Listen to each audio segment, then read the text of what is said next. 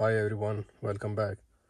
Today I'm going to program this key. Uh, it's an aftermarket key that I bought for uh, this car. It's Toyota RAV4. The process should be the same for most of Toyota cars, especially 4Runner and um, uh, Highlander, Corolla, Camry. So let's get into it. So this is uh, the key that I bought from eBay for I'm not sure $20 or less. And then I took it to a hardware store and they um, cut it for free for me. It can turn the in the ignition but it cannot start the car. It's because the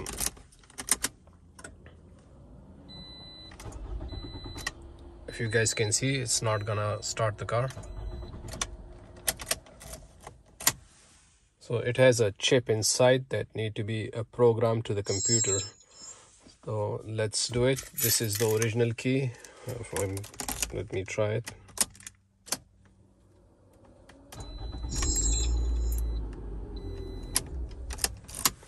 So let's uh, see how it's done. This is my first ever time uh, doing this key. I have programmed another key which wasn't too hard so let's do it. Open TechStream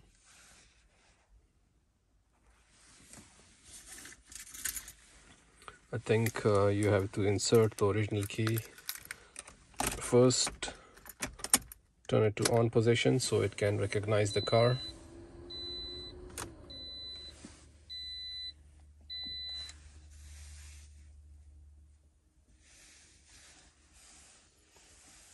Right now there is original key in the ignition and it's in a on position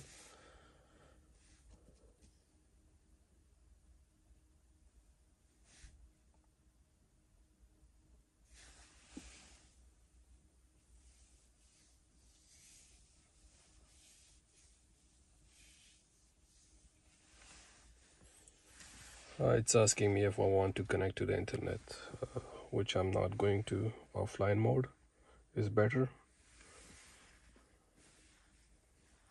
So select uh, RAV4 option is without smart key WO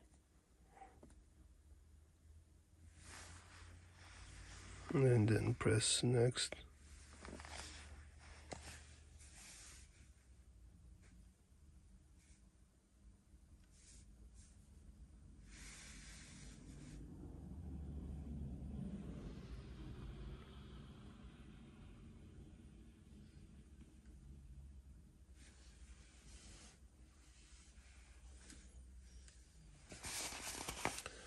and click on this uh, immobilizer section right here.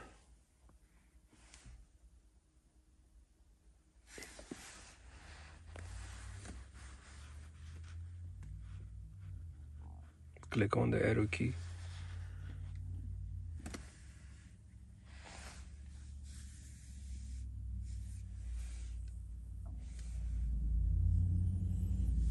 then go to utilities.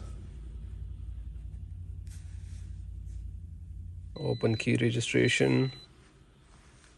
Then next.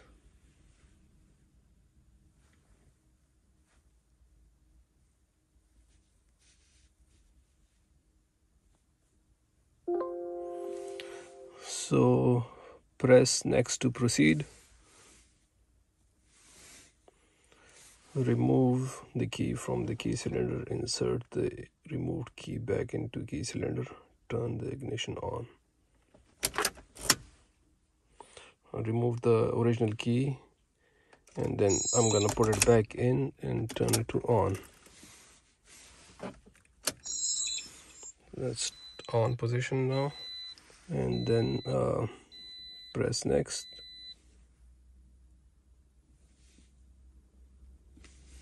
Remove the master key from cylinder within 20 seconds and press next.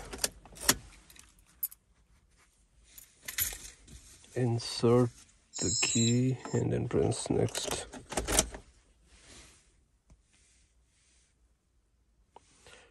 I inserted the second key in there, the copy one, and then I didn't even turn it and then I just press next.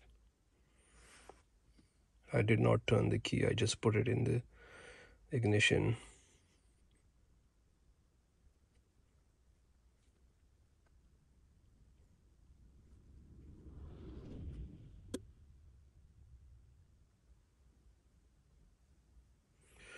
The key registration is complete. The, this key should now start the car. Press next to register another key. No, I'm not gonna register another key. I don't have another key, so just exit. Yes. Okay, so as you guys know, this was the genuine key, master key.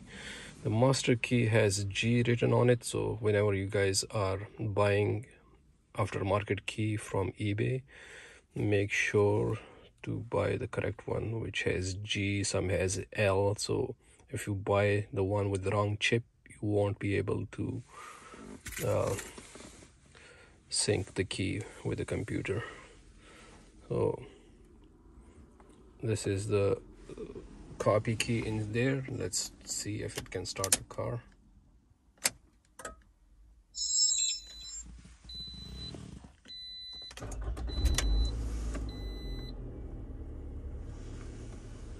Yes.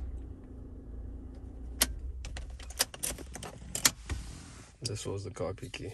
This is aftermarket ebay key so the process is pretty simple straightforward. Um, now the my next video is gonna be how to uh, make these buttons work so I can lock and unlock the door. Stay tuned for that one. Thank you very much for watching. Bye